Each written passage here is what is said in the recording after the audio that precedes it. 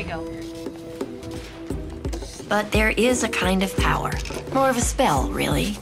I'm Lauren. And when we get it right, Um, okay. Hi, Lauren. it can be pretty damn magical. No, I meant Lauren, as in Lauren on the coffee. You're way over sugaring. Oh, guy, yikes. I'm I'm so sorry. You know what? I didn't even look up there when I just grabbed it. Really? So, It's not a problem. here you go. Is this you? Yeah, that's me. Well, now it's me. See you around, I hope.